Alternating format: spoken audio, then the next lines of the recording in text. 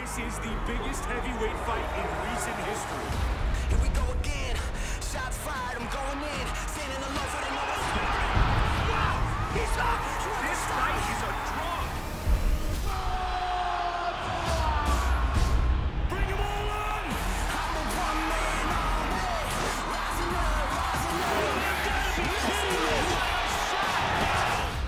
Wilder Fury 2, February 22nd, on pay-per-view.